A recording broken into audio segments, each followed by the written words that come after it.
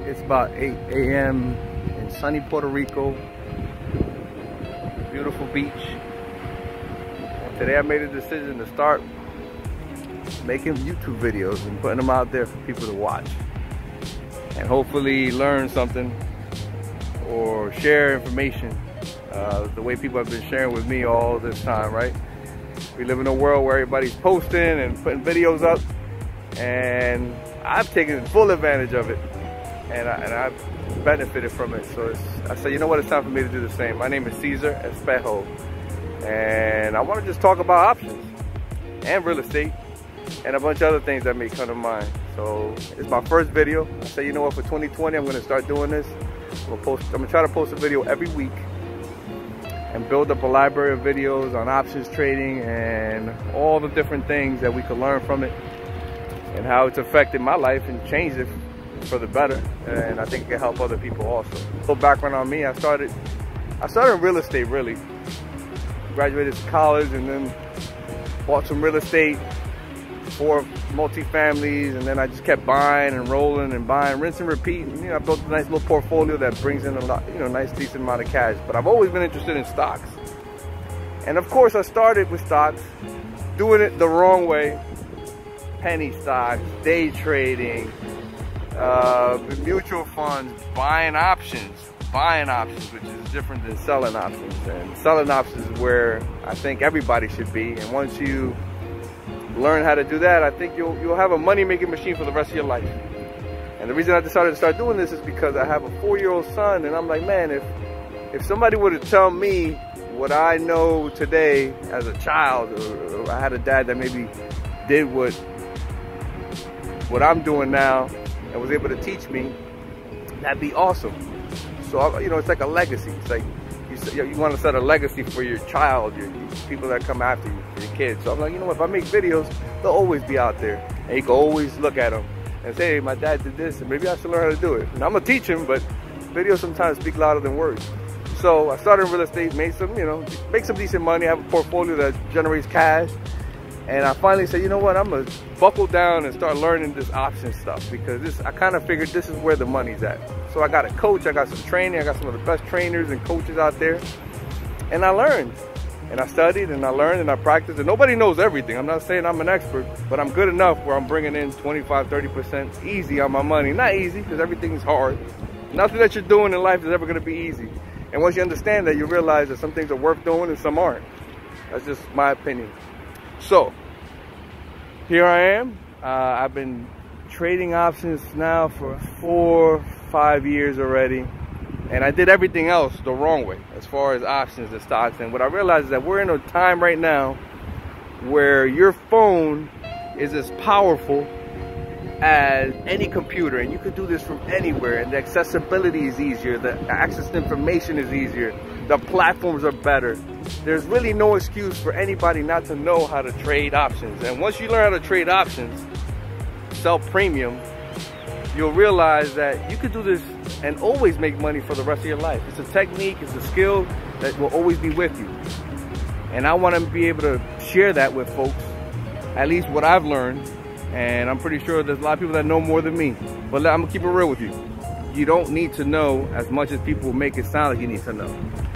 You're gonna hear about deltas and Greeks and gamma and theta, all the Greeks on options and what it sells and the IV rank and there's a lot to it. But it doesn't have to be that difficult. It could be nice and simple. It could be, hey, you know what?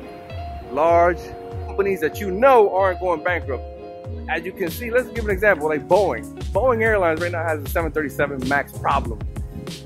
The stock has gone down from a high of, let's say, 440 to maybe 320. They got planes literally, I mean, you know, had accidents and that's, you know, tragedy. Uh, but the stock barely moved. Why? Because they're a duopoly. Pretty much Airbus, Boeing run the world. Is Boeing gonna be around tomorrow? I think so. So that's a good stock to sell premium on when things, when people think it's gonna go bankrupt, which is not, or they think, they think the price is gonna go down to zero, which is not. So these are the type of companies you wanna target. Amazon, JP Morgan Chase, uh, MasterCard, everybody's using the credit cards. They get a piece of everything. Square, all these different companies that are innovating in the, in the financial space. Uh, obviously, Amazon, big dogs, Google, you know, still doing Google searches, YouTube, owned by Google, you know, all these different things that are out there. We need to start taking advantage of this stuff.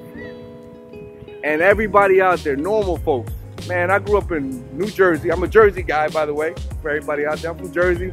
I'm on vacation in Puerto Rico with family and you know, I said, you know what, 2020, I'm going to start sharing this stuff and put videos out there and hopefully people listen. And if they don't, hey, you know what, people are going to be all right anyway. But there should be no excuse for anybody to be like, well, I don't have any money. I need to make more money. What am I going to do to make more money? The world is literally at the palm of our hands right now. And the platforms are there. The access is there. What we can do right now in the options market, you could not do could not do, zero. You were not able to do it, I would say five, seven years ago. It was cost prohibitive. It would cost you too much to get into a trade, to get out of a trade. It was difficult to navigate the platforms on your mobile phone, but those mobile platforms have gotten better and they're only gonna get better. You know, I personally use TD Ameritrade and I use Tastyworks. So I use two platforms for two different accounts, a smaller account and larger account. And you know, I have certain rules that I, once I start making more videos, I'm gonna get into into specific rules that I have to trade and and how you protect yourself from getting into any issues. Whether it be, you know, large drawdowns, keeping a certain amount of cash on hand always. And and and I'm doing this because I've had situations where I had a large drawdown and luckily I was able to finagle because I had other winning positions and I sold them. But these are the, the trials and tribulations that everybody's gonna go through. But if you can listen to my video and maybe learn something from it and say, hey, you know what this guy said online. He said, hey, you know, keep a good 40% cash always, no matter what. Because what happens is, and this is the, the basics of why options is the way to go. And I'm, I'm gonna just give one example. And I kept reading books and I kept hearing online, hey, you know what? Options are, are dangerous 80% of all options, 70 eh, to 90% of all options expire worthless. So when you think about that, 70 to 90% of all options expire worthless. Let's think about that for a second. In this world of stocks and trading, it's technically almost a zero-sum game. Somebody's losing, somebody's winning. So if 70 to 90% of all options expire worthless, then I shouldn't be buying options. I should be selling options. And like I said, now it's not that difficult. It's not that hard. With a smaller account, you can pretty much make some money. I want to be on the side that's expiring worthless, meaning I want to be on that side that 70 to 90% of the time you're profitable. And that's actually true. And I, I've been proving it to myself and everybody who's been trading options knows this. It's like a secret that nobody wants to tell anybody.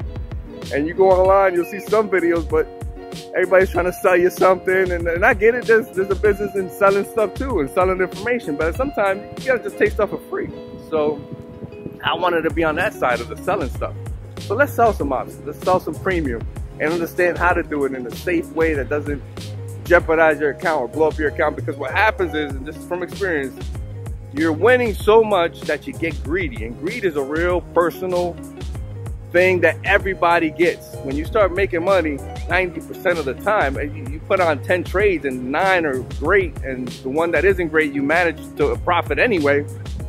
You, you start thinking, damn, well, I could just put more contracts on and I could make more money. And technically you could, but but the stock market is a fickle, fickle, fickle thing. One day it's up. Right now, the stock market just wants to go up every day. That's a good thing, could be a bad thing. We don't know. It Doesn't matter because with options, you can make money going up, down, sideways. It's just a beautiful thing. And that's how I got into options. I decided, hey, you know what? If people can make money 70 to 90% of the time, I want to be on that side. And I started selling premium and I started learning. And I, then I got a little bit into the futures market. So the futures is a lot more leveraged, but it's a beautiful market. It's not correlated. So you could actually trade the stock market, meaning underlines in, uh, in options in the S&P 500 usually. But if you wanted to, hey, you're saying it's too rich right now, S&P 500 is kind of high, I want to do something else, you could do un uncorrelated assets in the futures market. And that has become accessible to the point where you can do it trading as easy as you do uh, options. There's options on futures contracts. And that's something else to get into in the future. But I said I'd make this video about 10 minutes. It's 10 minutes in. My name is Caesar. I'm thinking of naming this this channel, my, my, my blog, uh, Legacy Options. So let's see if that sticks. Let's see if that could work. Legacy Options, Caesar here. If you have any comments, leave them below. And hopefully I'll have more videos so you can subscribe to and maybe catch me once in a while. I'm gonna get back to this beautiful beach here. And Merry Christmas. This is gonna be, right now we're on, it was December 29th, 2019. New Year's around the corner. 2020 is coming right around the corner. Everybody should be looking at how to improve their financial situation come 2020. And no more excuses action. This is the year of action. There's no results if you don't put some foot forward. Start educating yourself better, eating better, working out better, living life better, and making more money, you know? Health, wealth, and love, right? We all want love. Peace.